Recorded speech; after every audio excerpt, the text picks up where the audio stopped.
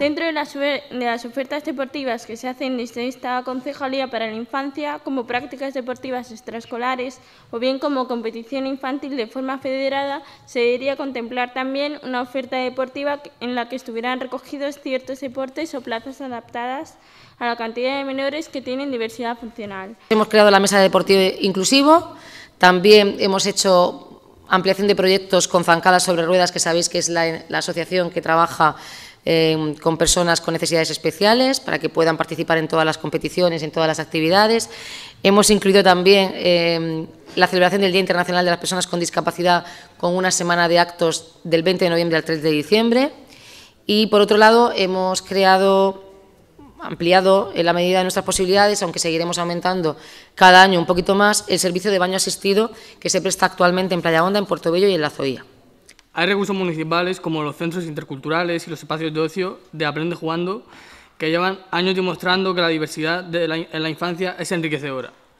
Por lo que la propuesta que hacemos al Pleno es que estos ejemplos se puedan promocionar y expandir a más barrios, incluyendo la zona rural, ya que niños, niñas y adolescentes se quejan a través de sus propuestas de los colegios que no tienen alternativas de actividades por las tardes en estas zonas y esto sería un buen ejemplo de ocio alternativo que ofertarles.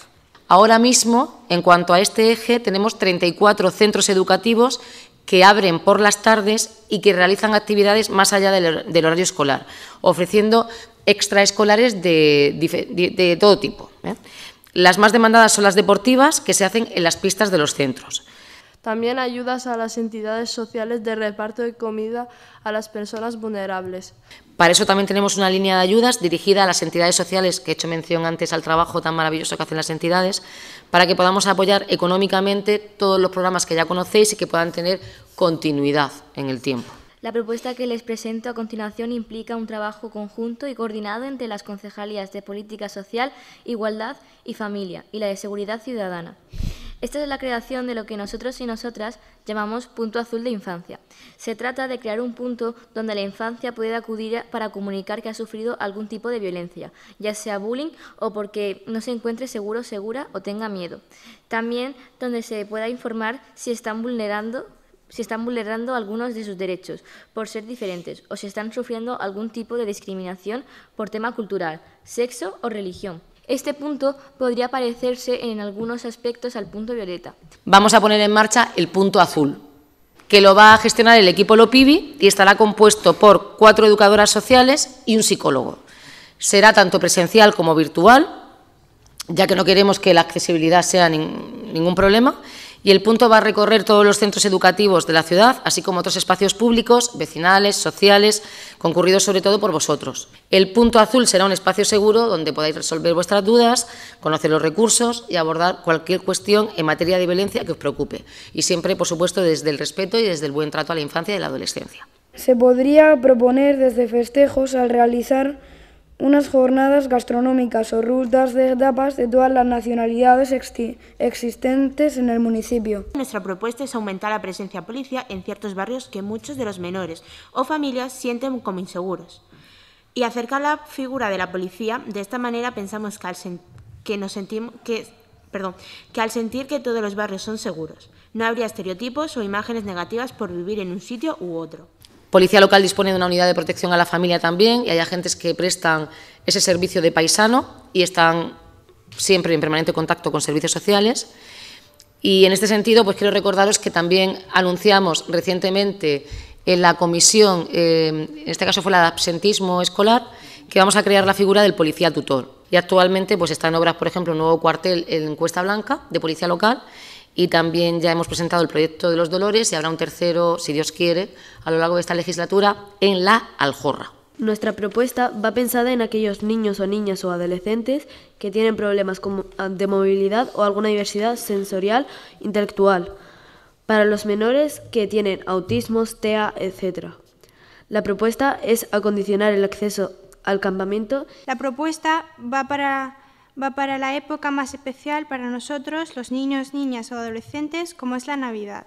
Nos gustaría que, algunos de los pajes reales o duendes de Papá Noel eh, que vienen durante unos días a nuestra ciudad pudieran comunicarse con los niños y niñas sordos. Los equipos se han puesto de acuerdo para potenciar eh, que sean las fiestas más inclusivas. Y, por ejemplo, Cartagineses y Romanos, junto con la Federación, contó con traductor de lengua de signos en todos los actos más importantes, en el pregón, en el apagado del fuego sagrado, en el campamento también con diferentes señalizaciones. Eh, también en cada tropa y cada legión se implicó para hacerlo más inclusivo.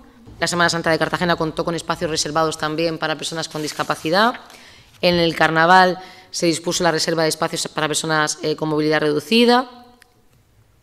Y en Navidad habrá alguna sorpresa también. Que toda esta oferta tuviera precios adaptados para ciertos colectivos vulnerables y sobre todo para la infancia y adolescencia para que se pueda acercar a la oferta cultural sin que suponga una carga para sus familias. La segunda propuesta va dirigida a las bibliotecas.